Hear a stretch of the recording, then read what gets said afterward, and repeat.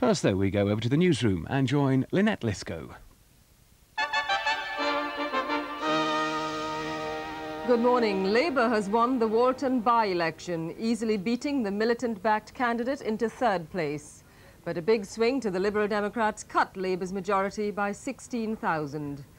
Labour won with more than 21,000 votes, a majority of nearly 7,000 over the Liberal Democrats. The Conservatives came fourth, losing their deposit. Labour has revealed that it's investigating militant infiltration in Walton, and a number of Labour members could be suspended. Neil Kinnock says the inquiry will be fair but firm. We've made it clear from the outset that people who worked for uh, and were involved in the campaign of the militant candidate would be dealt with under the constitution of the Labour Party. And that's what we shall do. Clearly, we've got quite a lot of evidence that comes from the by-election and everything going on around it. And that'll be acted on with complete fairness, but obviously very firmly. European foreign ministers are meeting in The Hague this morning to discuss a plan to send a team to monitor the ceasefire in Yugoslavia. Slovenia has ignored an ultimatum to pull its troops off the streets, but it has promised to release Federal Army prisoners about now. As last night's deadline passed, Slovenia's uneasy peace continued, but Belgrade's demands remained unimplemented. The only concession by the rebels, the release of 2,000 Federal Army prisoners. But contrary to Belgrade's central requirement, Slovenia's troops are still on the streets, and their government is suspicious of the Federal Army's motives in pulling back.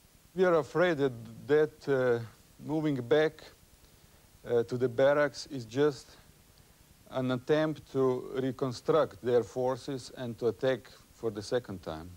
Slovenia, still reeling from the last wave of fighting, now awaits Sunday's deadline when Belgrade has asked it to vacate occupied border posts. In neighbouring Croatia, there have been clashes between Croats and Serbian nationalists involving several casualties. Yugoslavia will be on a knife edge this weekend. Police in Newport are surrounding a car and negotiating with a man who's holding a hostage at gunpoint. The hostage, Donald Stewart, was kidnapped more than 24 hours ago. The police say they're hopeful the gunman may give himself up later this morning. In the past few minutes, the Dutch appeal court has overturned the 18-year jail sentence given to a Belfast man for the IRA murders of two Australian tourists. The court decided that Gerard Harte's involvement in the attack in the Dutch town of Roermond last year had not been conclusively and legally proven. He'll remain in custody pending the outcome of a separate trial for IRA membership. That's all the news for the moment. More news at 11 o'clock.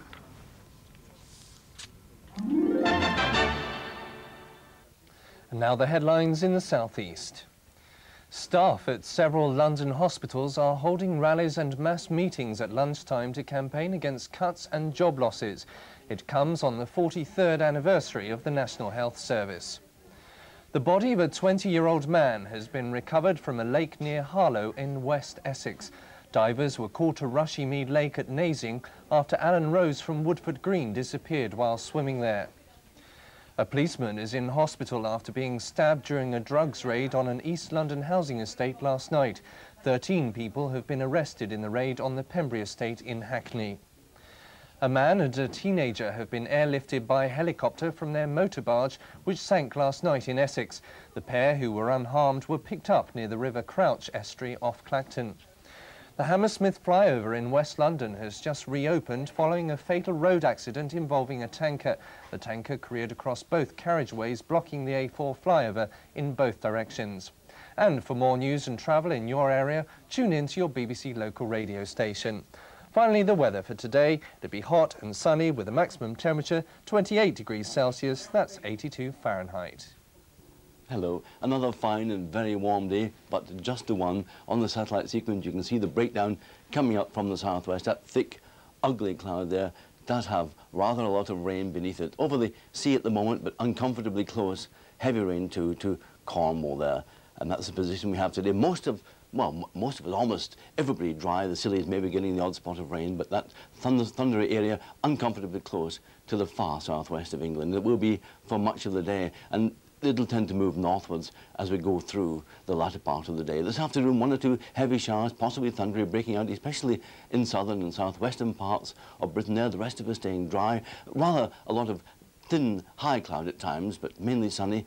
A stiff easterly breeze, especially over the hills in northern England, but stiff in many places. Those are the average winds at lunchtime today, and those are the temperatures that result from that easterly wind. Pleasantly cool along that east coast with the lowest pollen counts, high pollen counts in many central and western districts. Then this evening, a band of thunder rain gradually moving northwards across the country during the course of the night, with clearer weather getting back to the far southwest, and that clearer weather spreading northwards over England and Wales during tomorrow. But a very sticky night to come tonight, and that's the picture tomorrow, with that band of thunder rain moving northwards.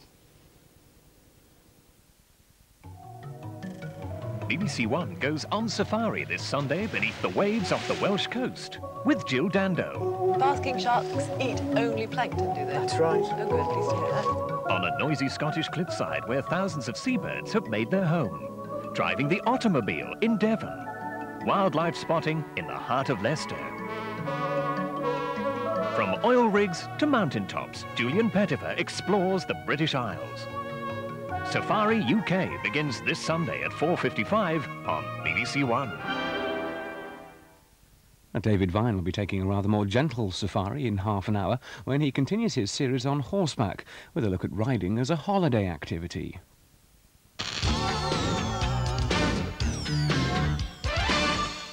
Good morning. From the birthday newsroom, the main story this morning. It was 37 years ago today that BBC TV broadcast its first news bulletin.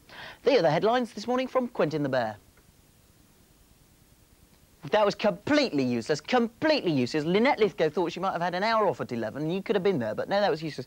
Go and find me a news flash. Well, and while he does that, I shall tell you the other main point. Um, Playdays today, because it's Friday, stops at the Tent Stop, so don't miss that. And of course, we've got your birthdays too. And here it is, hot off the teleprinter, the latest birthday news. It's been announced that this is the last birthdays for the whole of the summer. Bit of over dramatising things there, I think, Quentin, because they are still going to be here in BFT. It's just it won't look like this anymore. Anyhow, let's press on, shall we? Get the real work done. Um, go and grab some cards, and I shall get the ones off the pile here. The first one is for Liam. This is Liam Allgood who has a birthday today, three years old, so happy birthday, lots of love from mum, dad and baby brother Jordan. So happy birthday to you. A big fan of Fireman Sam, hence his Fireman Sam sweater on that there card, so happy birthday to you. Now, what else have we got here? We have King Rollo, who hasn't been on the telly for a while, here to say happy birthday to Simon Harries, who's three today. Lots of love from mum, dad and Dominic. So happy birthday to you too. Ha ha! Jim lad, we have a pirate here. Uh, with an eye patch on, in fact, and underneath the eye patch is a picture of Scott. This is Scott, who's four, uh, pictured here with Luke. Mum and Dad want to say happy birthday, as does Abby, who helped make the card. So thank you for that and a very happy birthday. No impressions of Pingu, but that's because he doesn't say a lot. In fact, you could do a very good impression of him, Quentin, I think. Matthew Hounslow of St Albans, a very happy third birthday to you. There he is with Adam, who wants to say happy birthday, as do Mum and Dad. So have a brilliant day to you too. Now, magic one. Look at this. We have here a wizard-type figure stirring a cauldron, and inside is Daniel Lee Clark, who's leaping up with his drill, because it's his birthday today. Happy birthday with lots of love from Mum, Dad, Sister Stacey, and all the rest of the family too in Nottingham. Stand by! More birthday cards coming up after the Tent Stop with Playdays. It's a play!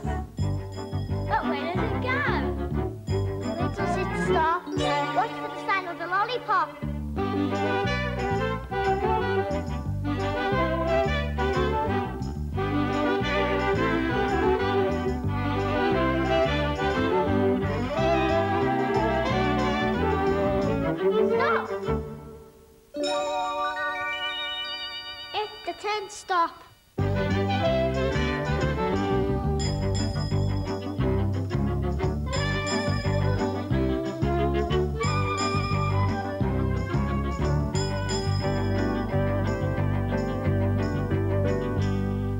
Hello and welcome to the play tent.